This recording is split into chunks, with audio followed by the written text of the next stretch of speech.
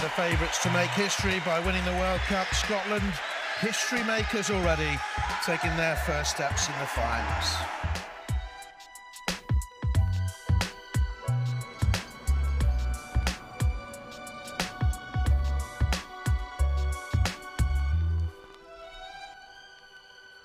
Welcome to Manchester, sun, rain. it's been an unbelievable journey and when I got that that call to say that I was in the squad, I, felt like that was the start of another journey. It was my first major tournament and I, I was just raring to go. I was so excited and it was it was getting on the plane where the butterflies really kicked in and you felt part of the team and I was just happy that people could come and see and it was nice to see fans all over, little boys, little girls, families. Like we attracted all kind of different fans and we hope that we give them an experience that wants to make them come back and support the women's game again. after the World Cup in Canada. We kind of wanted to be part of that atmosphere, like women's football is on like an upward trajectory and just wanted to be involved and we saw it was in Nice and we thought that's not too far away like, and then we kind of pitched it as it would be our family holiday with um, a couple of days of watching football.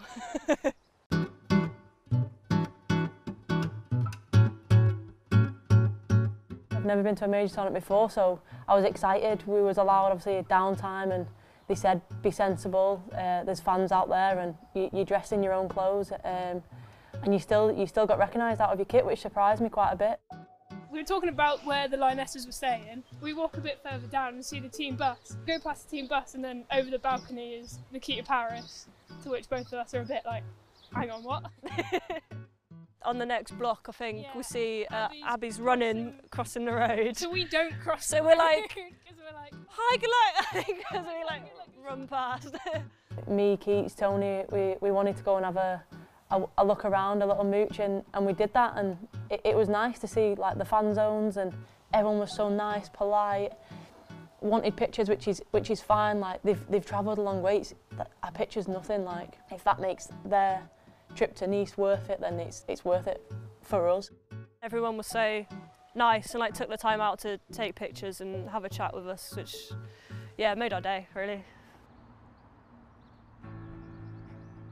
We woke up, we had breakfast, went to pre-match, got on the bus and it was unbelievable going to the game, seeing all the fans outside the stadium when you pulled up. Even with like the police escorts and things like that, all that to me is quite new. We are actually at a major tournament, like we- we've got security and things like that and it is, it's exciting, it's not, it's not frightening, it's not something that scares you, it's, it's all excitement, you're all ready to go, you're raring to go, you're just wanting the time to pass. We got on the shuttle buses that are running from like the fan hub and they just drop everybody off at the stadium and then you're just greeted with that massive stadium, yeah, really nice stadium in Nice. I was confident in England. I think like winning the She Believes, like we're in a really, really good position. Expectations were high. Uh, everyone was like really riled up and ready. obviously with the first game being Scotland, it's always going to be a big one, like rivals from, from back home, you- you'd say. But even looking at my teammates who, were- who was on the pitch at the time and looking across the bench, I was like, we've got this, we've got this. Like you can just feel it, like the atmosphere. It was, it was roaring, and it was just, it was honestly incredible. Anglo-Scottish rivalry has seared the souls of so many for so long as we stand for the anthems in the Stade de Nice in the south of France. I always remember singing my first ever national anthem when I got picked for one of the La Manga tournaments when I was in a younger age group. But the one at the Scotland, you'll ne- I'll never forget that. Like the goosebumps down the back of your spine and things. And people say it's just cliche, but it did. It got you, it got you excited for the game, and it, it was a great, great occasion. It's something that I'll always remember. The decision is penalty for England and Nikita Parris will be given the responsibility of taking it.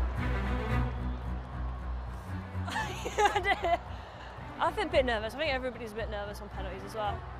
Parris for England against Lee Alexander of Scotland for the opening goal. It's absolutely crucial.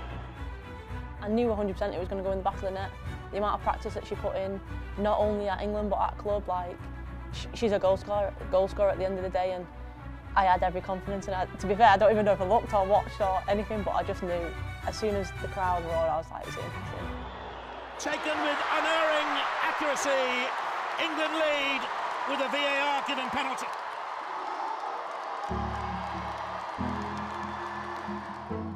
I probably just yeah, put my arm around you and just jumping. yeah, jumping and shouting. I yeah, I think so. I love yeah. Think that was probably the celebration.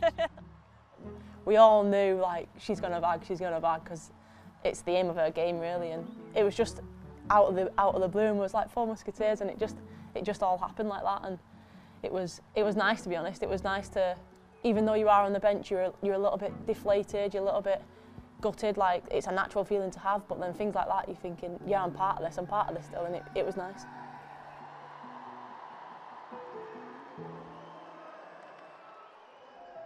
Looks like her shoulder, looks like she lands awkwardly on, a sh- uh, on that. And Millie Bright is not a player to go down. I very rarely see her go down. She's such a, a tough Yorkshire girl.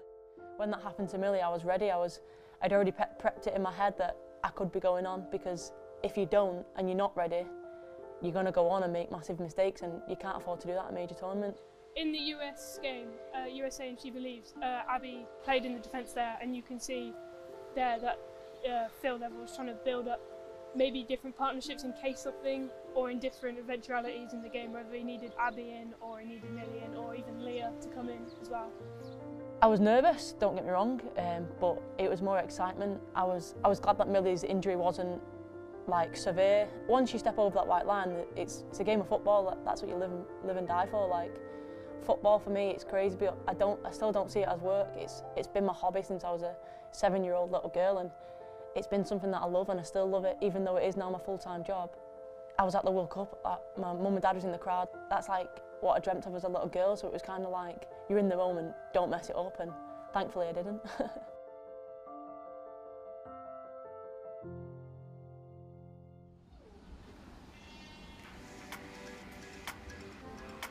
It was class. I don't think we could. I, if we just sat down and written out like our perfect World Cup experience. Yeah, I think it would have been almost what it was really, or like even better in real life. Yeah. it was nice just to ring my dad after the game when I was in my room and just say, Dad, how do you think I did? And we had the chat like we would any other game, and he said that I did all right when I came on, and, and the team looked like they was ready for the tournament. So I was I was confident that we was ready, and I was happy with with how we played, and it was it was one of them. It was like a a whirlwind of a day, and then it was finally over. So you do then have to come on, off a come down, but it is just like even now thinking back, like it's a year ago, like it feels like it was only yesterday. Now we're hearing about garden filming about something that happened a year ago. It's it's crazy. Oh mate, this is. Hi Megan, hi Erin. Just a quick message to say thank you very much for your support. I hope you're all staying safe and well back home. Um, got you a little present, just a little token to say thank you very much for your support and we hope to see you all soon at the next game.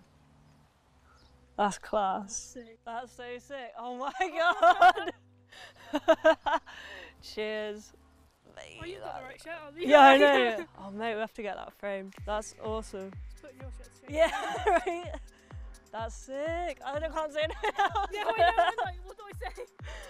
I have to put it up in the living room. There you go. Oh, We could put it in the spare room. by the TV. Yeah.